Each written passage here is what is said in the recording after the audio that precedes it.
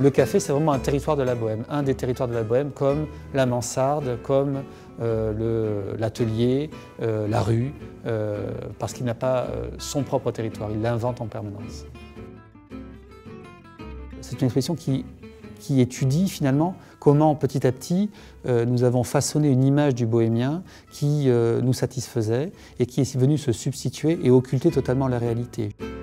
Nous avons quatre siècles de représentation euh, qui montrent comment l'artiste, fasciné par la figure du bohémien, l'a traité, l'a euh, représenté, que ce soit en diseuse de bonne aventure, en danseur, en danseuse, en compagnie euh, vagabonde, en personnage connecté avec la nature, et comment finalement cette fascination traverse tous les courants, toutes les modes, tous les pays.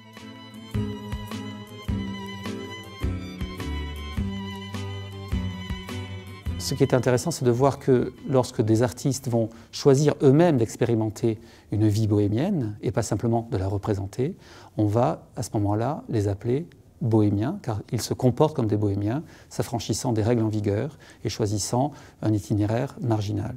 Donc à ce moment-là, l'exposition monte d'un étage et nous nous retrouvons non plus sur la route que nous avons empruntée en bas, mais dans un espace euh, beaucoup plus confiné. C'est le grenier de l'artiste, sa mansarde, euh, son café, tous ces territoires dans lesquels il peut vivre et il peut échanger ses idées et il peut développer son talent.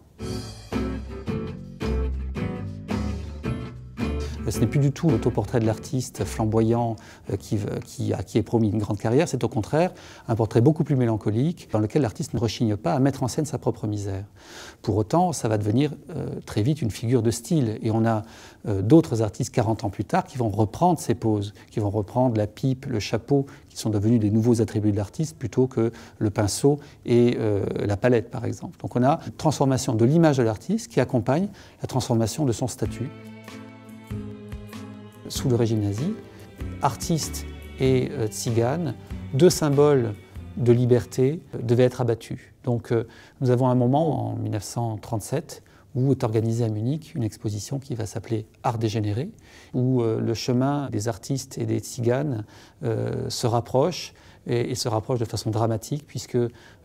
certains artistes seront condamnés et surtout le peuple rome subira ce d'immense génocide euh, qui euh, a conduit à la disparition de 80% de la population rome dans l'ère géographique du Grand Reich. Le contexte d'aujourd'hui n'est pas différent du contexte d'hier. Les populations euh, roms ont toujours été rejetées. Quand on voit comment les artistes pendant des siècles se nourrissent à cette source, que ce soit les peintres, les musiciens, ou même aujourd'hui la mode, euh, par exemple, euh, je pense qu'on ne peut que rendre hommage à une population qui a à ce point nourri nos fantasmes et notre imaginaire.